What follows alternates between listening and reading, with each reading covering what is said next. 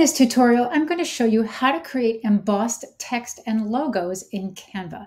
Embossing is the process of creating a raised design on paper. You'll see this a lot within printed materials like invitations and business cards, but you can also do this with graphics. By using different shadow effects, we can make it look like it has that raised effect. I'll show you how to do this with text as well as with a logo. My name is Kat, and this is Canva Catterday. The first step is to type out some text. So we have a text box right here. I'm going to change the color to one of my brand colors and then click on Effects and Shadow. We're going to make some adjustments here. For offset, make this 20. Leave the direction at negative 45. Set the blur to 20. Set the transparency to 70 and make the color black. There we go. That's the first part. Next, click on your text and duplicate it and place it directly on top like that. And we're going to adjust the shadow again. It's going to show you the shadow settings we had a moment ago. We're going to change it for this text layer. Offset can stay at 20. This time you want it to be at 145. Blur is at 20. Transparency this time is 80 and change the color to white. Next, you want to go up to position and take that white layer we just created and bring it to the bottom. It has to be underneath the black layer. And then just click on your background, change the color, and you've just created embossed text just like that. It's so easy. Now, if you plan on moving this around on your page, just make sure that you group both of those text layers so that they stay together when you're using them in different designs or resizing them. So that's how you use this with text. How do you create an embossed logo? Let's do that next. For the logo, I'm going to go over to the Brand Hub and just grab one of my logos here. When you're doing this with a logo or a graphic, make sure it's all the same color. If I were to try to emboss this as it is with the two colors, it's not exactly going to look right. So you want to make sure that everything is the same color. I'll change these colors right here, that one and that one, and also make it a little bit bigger.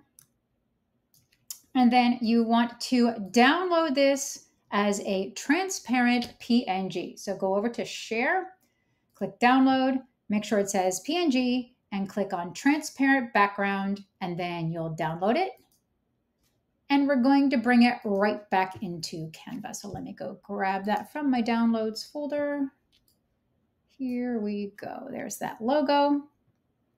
And we add that back into our design. Let's make it a little bigger. For the next step, duplicate your image that you just uploaded, duplicate it, and just set this one off to the side a little bit. You don't need it for right now, just set it over there. We're gonna work with this very first image here. So this method's a little bit different. Uh, we're going to have to use the photo drop shadow effect, which has a couple of different controls. So click on edit photo and we're going to go to shadows. And this time we're going to click on drop shadow for the size, leave it at zero. For the blur, this time, bring it to about 15, right there. Angle, set this to 60. It's going to place that shadow kind of in that bottom right-hand corner. Distance, set this at 15. Leave the color as black. And for intensity, now in photos, it's called intensity. In text, it's called transparency. For intensity, we're going to set this to 70. So there is the first one. And you're going to go back to the second image that you had a minute ago. Just bring it over here. It's okay if they're not aligned just yet. Don't worry about it. Go to Edit Photo, Drop Shadows, Drop. This time, leave the size at zero. Make the blur 15. Set the angle to 15. Distance, we want it to be 15 also, all these 15s. Color this time is going to be white. And for intensity, you want to set this to 90. 90, like that. And then again, go to position. For your layers, you want the white layer to be on the bottom, like that. And then we're going to overlap them. We're going to drag it and overlap a little bit. I'm going to change the background color. Now you might find you have to adjust the overlap just a little bit. If you find that that needs to happen, just use the arrow keys to do like an incremental uh, movement of your logo. It should just snap into position, but if it doesn't, like if it's showing a little too much of the darker shadow, you can just use those arrow keys to make that nice and aligned. Once in a while, when you're doing this method with a logo and you try to align it, Canva, because you've got that uh, white shadow in the upper left corner and the dark shadow in the lower right corner, sometimes Canva doesn't exactly align them like they should be. So just use those arrow keys and you'll get them where they need to be.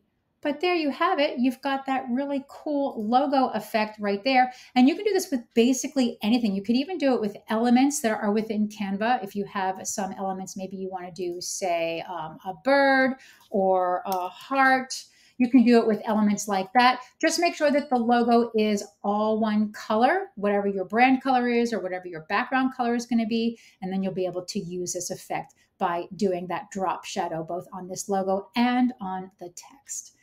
Be sure to hit that subscribe button so you don't miss any of my videos in the future. That's all for this week. I'll see you next time.